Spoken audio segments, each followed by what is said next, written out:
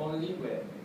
you know they, the, this news is made public, right? Whether the company chooses to make an announcement or when it does its earnings report or quarterly report, only then will it be reflected in the public, and then the public will know of it, right? So if you are going to act on the,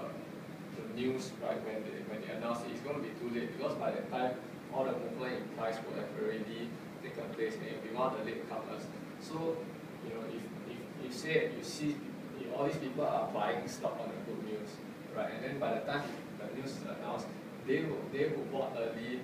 right, will, will take the chance if the price spikes up to sell to, to people who come in late. Right, so it's best if you can if, if you the best is if you have insider info, but uh, the second best is if you can read the price. Okay, so this so